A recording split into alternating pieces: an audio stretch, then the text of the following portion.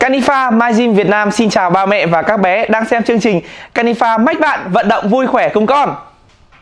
Thầy là Harry đến từ MyGym Việt Nam và hôm nay thầy sẽ hướng dẫn cho các bạn một bài tập có tên là V-Sit tức là ngồi chữ V. Đây là bài tập dành cho các bạn từ 6 đến 10 tuổi. Đặc biệt bài tập này rất là tốt cho phần cơ trọng tâm của các con như là cơ lõi, cơ lưng và giúp các con cải thiện thăng bằng cũng như là khả năng tập trung. Để thực hiện bài tập này tại nhà thì ba mẹ có thể giúp các con chuẩn bị một chiếc thảm tập yoga. Và để con thoải mái vận động, linh hoạt hơn trong từng động tác, ba mẹ nhớ chọn cho con các trang phục vừa vặn, không quá rộng cũng như là không quá bó sát người bé.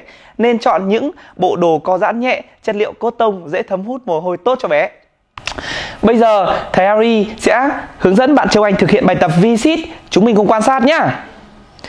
Đầu tiên, bạn Châu Anh sẽ ngồi xuống đây Đúng rồi. Um, Con sẽ để hai tay đằng sau nhá. Hai chân mình sẽ chụm lại này.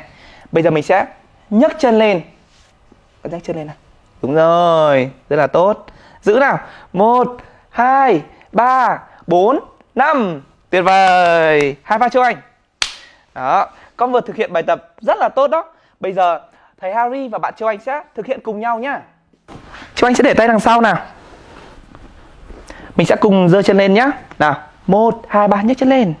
Đúng rồi. Một hai ba bốn năm. Châu anh thực hiện rất tốt. Hai pha châu anh.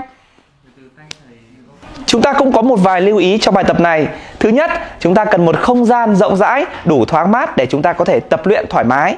Thứ hai, trong quá trình tập luyện thì mình hãy giữ thẳng chân nha các bạn. Ba mẹ hãy khuyến khích các con tập luyện tại nhà đều đặn hàng ngày nhé.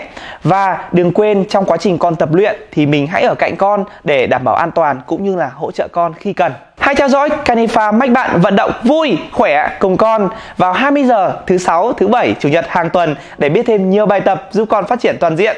Còn bây giờ xin chào và hẹn gặp lại.